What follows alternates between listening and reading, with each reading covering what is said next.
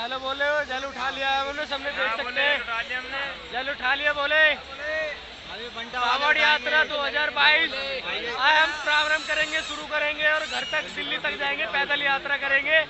और इस वीडियो की में हम आपको पूरी वीडियो में जहाँ जहाँ कांवड़ सिवल पढ़ेंगे और कांवड़ में क्या क्या सुविधा मिलती है। और उसके बाद देख सकते हैं आप पीछे गंगा की धार बहुत तेज हो चुकी है।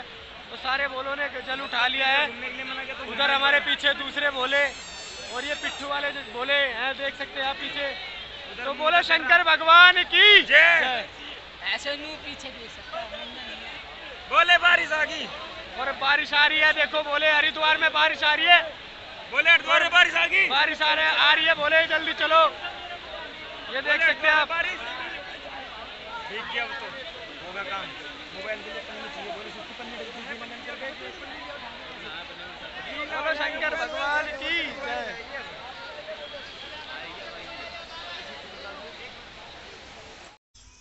बोलो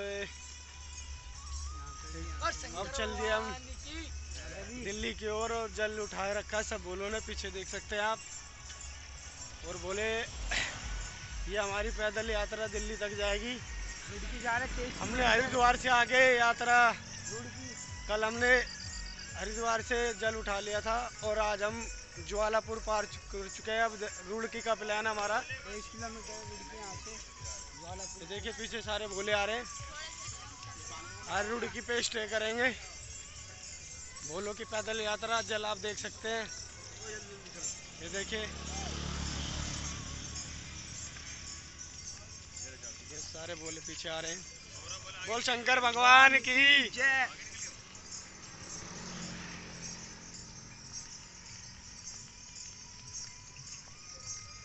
की पैदल यात्रा और शंकर भगवान की।